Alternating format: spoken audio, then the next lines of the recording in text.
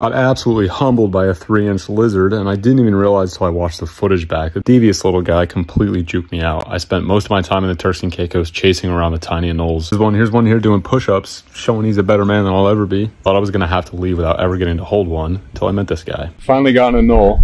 I didn't grab him quite the way I thought I would. Came to me. He's looking right at me, you know. He knows. Oh!